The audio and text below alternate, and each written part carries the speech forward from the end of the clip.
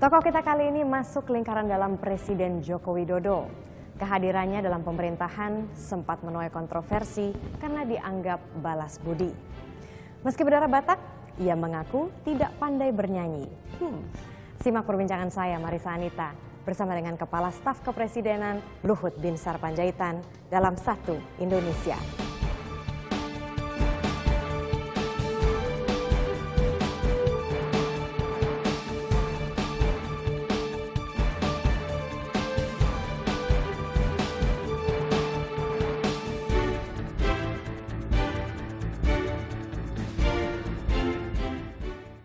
Satu Indonesia kali ini menyapa Anda dari kantor staf kepresidenan dengan siapa lagi kalau bukan dengan Kepala Staf Kepresidenan Luhut Binsar Panjaitan. Apa kabar Pak Luhut?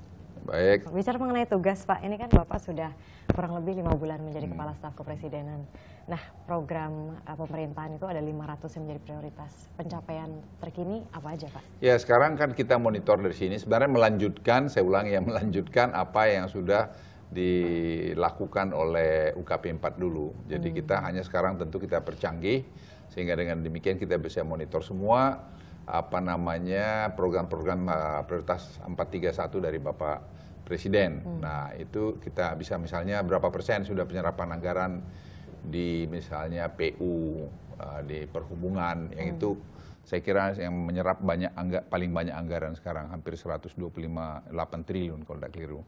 Nah, itu kita lihat dari ke hari. Nah, itu presiden sehingga terinformasi dengan utuh. Nah, tugas kami sebenarnya mem, uh, brief presiden selengkap mungkin mengenai semua perkembangan di lapangan, baik itu keadaan politik, baik pun nanti keadaan ekonomi, maupun keadaan-keadaan lainnya. Kemudian kewenangan yang diberikan ke Anda juga Kewenangan juga biasa-biasa aja menurut saya. Orang bilang tumpang tindih, saya hampir lima bulan lebih di sini. Nggak ada, ada belum ada komplit tumpang tindih. Saya lihat sampai sekarang mempercepat ya, kita membantu di bottlenecking.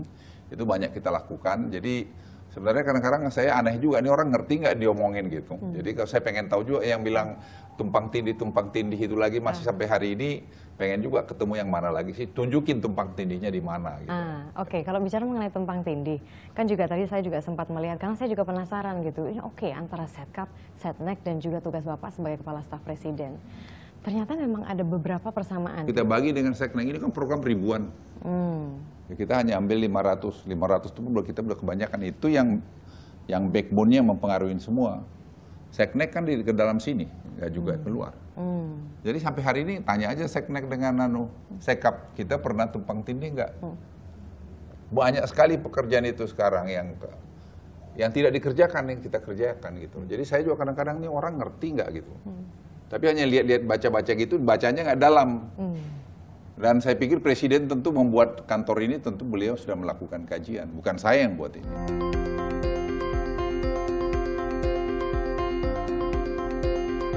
kan mungkin lebih baik dia kembalikan pada UKP 4R kali itu lebih baik untuk melakukan evaluasi terhadap para menteri untuk sebagai internal bagi kepentingan presiden dalam menilai dan mengevaluasi para menteri. Sehingga tidak terjadi kerancauan antara staf kepresidenan, kepala staf dan wakil presiden. Ketika kita uh, cermati dengan seksama Perpres 26 tahun 2015 itu justru uh, menimbulkan masalah karena uh, memberikan kewenangan yang cukup besar atau amat sangat besar kepada kantor staf kepresidenan. Presiden dan wakil presiden itu adalah satu paket. Ya. Maka kemudian tak boleh ada lembaga atau badan atau orang yang mungkin saja menggunakan embel-embel orang dekat presiden untuk mengambil alih tugas kedua orang ini. Bagaimana dengan tanggapan Anda? Ini kembali lagi agak sedikit ke belakang beberapa bulan lalu. Hmm. Jadi Anda, Ibu Rini Sumarno dan juga Andi Wijayanto itu dikelompokkan, tiba-tiba muncul saja trio macan. Tanggapan Anda? Ah itu, suka-sukanya, makanya saya bilang trio singa, trio ah, pakai mau dibilang itu anu kurang kerjaan aja itu. Uh, katanya si trio macan inilah yang membuat sulit komunikasi dengan presiden gitu. Kalau siapa yang PDI ngomong Perjuangan, itu? Makanya saya PDI pernah challenge itu. Eh, yang ngomong itu siapa? Datang ke mari. Di mana tunjukkan? Jangan kasih rumors dong. Nggak benar. Saya tugas saya di situ supaya anda baca adalah apa, membangun komunikasi dengan apa namanya parlemen dan juga partai politik. Hmm. Saya ulangi kata-kata bodoh. Alangkah bodohnya saya seorang seperti saya ini kalau menghambat komunikasi presiden dengan partai politik lain. Berarti nggak bagus dong. Saya justru harus merapatkan itu. Hmm. Jadi tuduhan-tuduhan seperti itu tuduhan kampungan menurut saya. Tapi benar, tapi ini santer sekali loh Pak. Ter- Biarin termasuk dari santer. dari ketum PDI Perjuangan yang pada saat itu signalnya menyindir Anda dan juga Nggak Ibu pernah Rini saya disindir. juga- anda tidak pernah merasa Nggak pernah saya disindir. Meskipun pada saat itu berpidato secara Nggak pernah dia sebut. Kalau disebut nama saya jelas kalau hanya bagi bunga-bunga gitu saya tidak pernah ingin menafsirkan macam-macam. Saya cukup tua untuk tahu apa yang saya apa harus lakukan ya. Oke, ada satu lagi Pak. Jadi Hmm. selain tadi yang saya sebutkan Setnen, Sekap, udah gitu eh, tugas Bapak di sini sebagai Kepala Staf Presiden. Kemarin itu politisi dari Partai Nasdem, Victor Laiskoda sempat mengatakan bahwa ini posisinya Pak Luhut ini kok jadi mirip seperti posisinya Pak JK ya, Wakil Presiden gitu. Apakah ini Nggak lah, menjadi... betul juga. Wong saya lapor sama Pak JK kok baca dong tugas pokoknya itu. Jangan kasih komentar kalau tidak baca tugas pokok. Tugas pokok saya jelas-jelas membantu presiden dan wakil presiden. Hmm. Ya udah. Nah kalau saya membantu kan stafnya beliau. Kok bisa tugas saya disamakan sama Pak JK? Hmm. Berarti komunikasi tetap lancar Pak dengan Betul, Pak lancar saya tadi dengan Pak JK baik bagus saja. Kemarin kami hampir dua jam bicara, nggak ada yang aneh. Bicara tentang apa Pak? Ya macam-macam lah kita bicara dengan Pak JK. Oke, saya juga ingin mengajak Anda untuk bermain sedikit Pak. Tunggu sebentar, ada bantuan dari rekan saya di sini, Wibi. Terima kasih. Ya, Ini ada beberapa foto Pak. ya. Kalau misalnya bicara mengenai reshuffle, ada Ya. beberapa nama yang sudah santer. Pendapat Anda mengenai kinerja orang ini? Eh, baik. Apakah ini yang menjadi salah satu yang akan di reshuffle? Saya nggak tahu itu hak prerogatif presiden. Masukan Anda? Ya dia baik menurut saya. Dia anak muda, energik. Ya, saya nggak ada komplain mengenai dia. Kalau misalnya di reshuffle, apakah itu adil? Itu hak hak hak prerogatif presiden sepenuhnya. Oke. Dan saya kira presiden cukup arif tahu siapa yang perform, siapa enggak. Ya bahwa ada pertimbangan politik lain saya nggak tahu. Maksudnya pertimbangan politik? Ya saya nggak tahu mungkin pertimbangan ada ya, keperluan lain saya nggak tahu. Tapi kalau bicara profesionalisme, saya kira dia cukup baik. Oke, bagaimana dengan yang ini Pak? Ya saya baru kenal yang bersangkutan, saya tidak berani banyak berkomentar mengenai yang bersangkutan. Oke baik, kalau misalnya dengan yang ini? Oh, iya, saya kira bagus komunikasi kami baik. Dia melakukan pekerjaannya sampai pada tataran-tataran sebagai Menko. Saya tidak punya komplain sampai hari ini karena kami ya beberapa kali kami bertemu di sini dan ketemu tempat lain. Dia mendengarkan saran-saran juga dan dia juga minta pendapat-pendapat. Mm-mm. Kalau misalnya menurut beberapa lembaga survei Pak, dia yang paling santer untuk di reshuffle. Ya saya nggak tahu soal survei ya lembaga survei, tapi kalau anda tanya pendapat saya, saya pikir ya begitu. Kalau misalnya dari beberapa kementerian, menurut analisa Anda itu sebetulnya berapa banyak sih? Karena menurut informasi yang kami dapatkan, Pak, itu tuh ada akan ada sekitar 8 hingga 10 kementerian. Yang apakah itu akan dirotasi atau betul-betul diganti? Ya saya nggak tahu. Saya kalau anda sudah bicara soal reshuffle, jawaban saya akan jawaban anu, jawaban baku karena itu bukan domain saya Eh, untuk bicara. Karena nanti kalau berandai-andai, malah terjemahannya macam-macam. Hmm. Ada lagi, Pak, nama yang santer di reshuffle. Hmm. Pasti Bapak tidak sependapat sih. Nama Bapak muncul di situ. Nah, saya di reshuffle besok pun hari kemarin pun nggak ada masalah. Nggak ada masalah, Pak. Buat apa masalah? Saya saya punya hidup udah enak kok. Nggak ada. Kenapa? Wow. Ya. Emangnya hanya dunia itu hanya duduk di kantor ini. Terus Saya- nanti nggak ada yang bantuin Pak Jokowi dong, Eh, Pak? makanya saya bilang itu tergantung beliau. Kalau beliau mau reshuffle kan beliau yang menghitung sendiri, bukan saya. Bagaimana saya bilang, Pak jangan reshuffle saya. Ya enggak lah. Oh iya, Bapak kan orang Batak. Hmm. Pinter nyanyi dong. Enggak. jangan nyuruh nyanyi lah, nyuruh yang lain aja.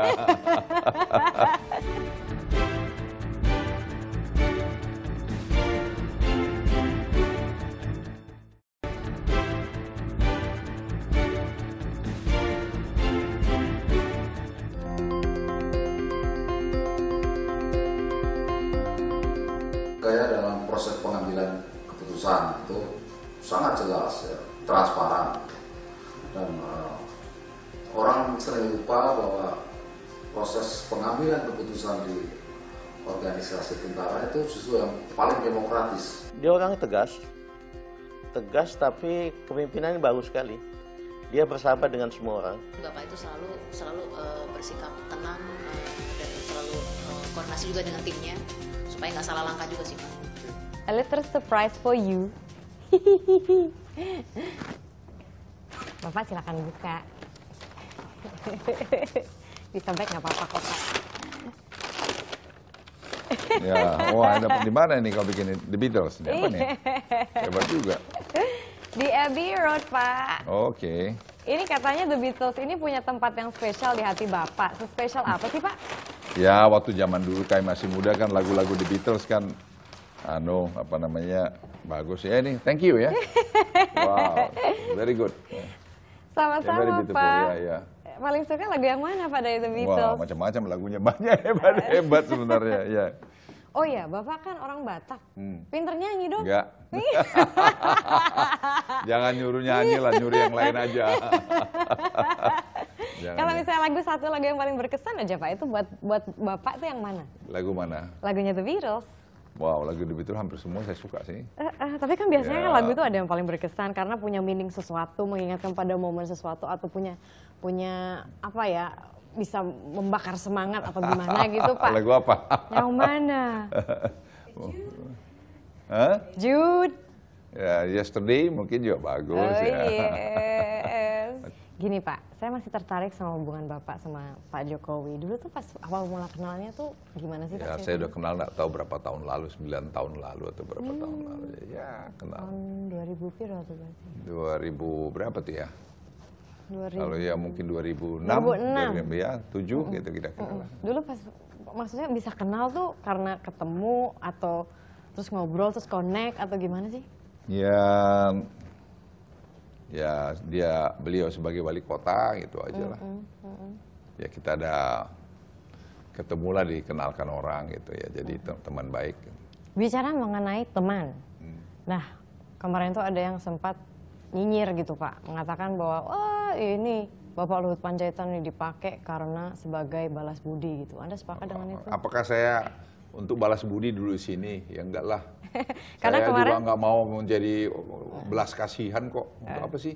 Saya survive selama ini di tentara juga survive sebagai apa nama pejabat birokrat. Ngapain saya minta dikasihanin? Soalnya kalau misalnya kita lihat polanya nih Pak, Ya dia aja yang ngomong itu suruh koreksi mulu. ada polanya nih Pak. Hmm. Kalau misalnya saya boleh ambil referensinya. Jadi orang-orang yang bantu, yang menjadi tim ses itu, ya udah ayo saya taruh di komisaris ini, komisaris itu, gitu loh Pak. Hmm. Jadi tanggapan Anda mengenai pola ini yang dianggap enggak sebagai oh pola. Saya, gitu. Di mana-mana juga di dunia ini atau katakanlah kita suka ngacu Amerika ya. Hmm. Kalau di Amerika presiden terpilih itu dia bawa sekian ribu orang masuk di White House itu Hmm. dengan pemerintahan bukan White House saja. Itu wajar aja. Ya, itu yang dukung dia ya ditaruh lah. Masa orang yang nggak dukung dia ditaruh dan profesional. Hmm. Tidak hanya sekedar ditaruh saja. Jadi saya pikir nggak ada yang salah itu. Itu hak presiden itu. Ya kalau bahasa keren kalian suka-sukanya dia kan itu. Saya sepanjang dia tadi profesional dan Ya. saya lihat presiden tetap masih memakai kriteria profesionalisme tadi. Mm-mm. Kalau misalnya boleh mengambil referensi eh, apa yang Bapak katakan tadi kan pengalaman Bapak tuh udah lama sekali gitu, apalagi di bidang militer. Dulu tuh masuk militer alasannya kenapa Pak? Apa panggilan atau karena disuruh ayo nak? Ya saya kan lihat keren," RPKD gitu. mendarat di Pekanbaru tahun 58 gitu. Itu aja. Jadi waktu saya SMP Ya. ya saya pengen seperti itu dan saya masuk di Kopassus. Itu aja. Oh ya, waktu itu apa yang Bapak lihat sih? Ya Maksudnya saya pikir hanya berapa orang RPKD mendarat merebut kota Pekanbaru, Rumbai itu tahun 58 ya terkenang itu. Dan sejak itu saya tekad saya harus pengen masuk RPKD. Nah, ya saya masuklah. karena kegagahan mereka. Ya bukan karena kemampuan mereka bertempur, keberanian mereka, Hmm. teamworknya yang bagus, disiplinnya, fighter, fightingnya, fighting spiritnya. Eh, Itu yang saya bawa sekarang pada sampai di kantor ini. Fighting spirit. Ya. Itu hanya satu, pasti banyak yang lain dong Pak. Ya tadi saya bilang tadi keberanian bertempur, Hmm. ke teamworknya, fighting spiritnya. Makanya saya kalau di challenge orang saya tanya, kau udah pernah mau mati buat negeri ini belum? Kalau belum, nggak usah kau banyak omong. Wow, pertempurannya seperti apa Pak? Lah, Dulu iya, kan saya di lapangan, ya, sekarang saya kan udah pertempuran. ngalamin, kau udah pernah mati belum anak buahmu sama dekat kau? Belum, ah. kalau belum jangan ngomong kau. Kalau misalnya Bapak, ini kan maksudnya kalau kita lihat dari depan sih, dari luar gitu ya, pertempuran di lapangan sebagai seorang tentara itu berbeda dengan pertempuran nah, itu Sun Tzu punya teori kan dipakai juga dalam bisnis. Ah, Intinya itu tadi. direct indirect approach itu juga sama aja. Direct indirect approach termasuk Ya, dalam operasi militer, dalam juga sama di sini. termasuk melobi pak. Itu Ya direct itu saya bilang indirect? tadi, ada indirect kan. ada indirect ya. Di operasi militer itu ada kan disebut kita indirect atau direct operation. Ah. Is- tergantung bagaimana musuhnya, tergantung kekuatan, tergantung surprise dan segala macam. Sama aja di sini. Hmm. Nggak ada bedanya itu. Jadi kalau orang begini nggak usah ngajarin lah. Hmm. Kita tahu apa yang harus kita bikin. Kalau nggak saya nggak duduk di sini hari ini. Wow, sangar. udah udah mati saya mungkin dari kapan-kapan. Waktu Ibu Mega itu memberikan pidato kepada seluruh kadernya gitu di bulan sebulan lalu ya Hmm. di Bali. Presiden Joko Widodo tuh nggak dikasih tempat. Itu kan Kamu tuh pintar kali, ini udah indirect ini. iya loh.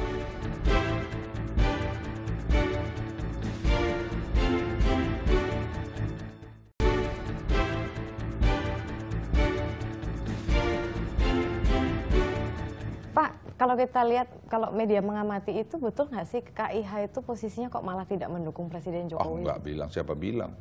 Oh ya? Ya. Yang Bapak tahu seperti apa sih? Ya baik-baik aja, Bu Mega makan siang sama Presiden minggu lalu di sini kok. Nggak ada Bu Mega, baik-baik aja. Lah kalau ada beda-beda pendapat, kamu dengan kakakmu atau adikmu pasti ada beda pendapat. Lah biasa itu. Tidak ada hal yang aneh itu. Tapi sampai ada ini loh Pak, waktu Ibu Mega itu memberikan pidato kepada seluruh kadernya gitu di bulan sebulan lalu ya Hmm. di Bali. Presiden Joko Widodo tuh nggak dikasih tempat untuk pidato. Sedangkan Pak di parpol-parpol lain itu di welcome gitu loh. Itu kan Kamu tuh pintar kali, ini udah indirect ini. iya loh. Kalau ini kita, kamu udah mempraktekkan anu punya indirect approach namanya itu. ya itu kan bahasa bahasa apa ya? Bahasa gambar gitu loh Pak. Enggak juga sebenarnya. Ya itu bisa aja terjadi mungkin masalah teknis atau apa ya. Saya enggak terlalu tahu dan saya juga enggak terlalu Masalah teknis. pusing Presiden. Joko Widodo datang ya nggak masalah teknis toh Pak. Ya dia datang juga. Beliau kan bicara juga kepada para ka- ketua-ketua DPD di situ. Ya, dia bicara pada kader-kader PDP juga. Dan kemarin saya lihat pertemuan juga dengan kader-kader PDP. Nggak ada yang aneh. Tadi Bapak sempat mengangkat mengenai komunikasi. Hmm. Nah, selama uh, memerintah sejak dilantik itu kan ada beberapa problem komunikasi kalau boleh dikategorikan Hmm. gitu. Berarti sekarang pembicara yang menjadi uh, uh, apa istilahnya toaknya presiden tuh yang mana, Pak? Ya, ya itu kan ada presiden sendiri. Ya, Ya, presiden minta betul. juga Pak Luhut jelasin. Makanya saya ngomong sama kamu ini. Kalau enggak, enggak ngomong saya ini. Iya, heeh. berarti oke Presiden Jokowi masih tetap akses Ya, ngobrol sama ya. media. Ya, terus saya diminta juga ngomong Pak Luhut juga jelasin ya saya jelasin. Oh, oke. Makanya saya bicara ini, saya bicara jelaskan, tapi tidak sebagai juru bicara. Hmm. Ya jelasin ya. Dan kemudian tim media, tim media tadi bukan juru bicara. Tim media Ya, itu tim anu, tim kom, apa tim komunikasi, Komunikasi. Pak Teten dengan Pak anu siapa? Rinakit. Ah, Rinangkit, Soekardi Rinangkit ya. Itu berarti tugas komunikasi apa, Pak? Jadi beliau mempersiapkan mungkin macam-macam, to some extent mungkin Pak Soekardi juga membuat pidato presiden. Oh, oke. Ya. Tapi kalau misalnya hubungan dengan media, bukan Pak Teten buka Ya, Parinakit, lebih mereka ke Pak juga Luhut. hubungan, hubungan mereka. Waduh, Pak, nanti kalau misalnya nggak Enggak. ini, Pernah kalian merasa tumpang tindih kerja kami? Enggak kan? Nggak terlalu gemuk ya, Pak? Enggak, kenapa gemuk? Iya banyak banget, Pak, yang Kenapa ngurusin banyak? komunikasi. Apanya? Yang ngurusin komunikasi mereka di sana, hubungin. Kami komunikasi bentuknya seperti ini. Hmm. Apa bedanya? Nggak, nggak takut bingung ya, Pak, nanti? Siapa yang bingung? Kayak nggak sinkron gitu loh, kan ada beberapa informasi yang nggak sinkron yang Mana kami yang nggak sinkron saya sampaikan dengan sampaikan Pak Teten? Oke, jadi eh, ininya tetap line of communication tetap banyak, Pak. Iya bagus, bisa aja presiden bisa. Hmm, ya presiden pasti. Iya, yes, saya bisa. Heeh.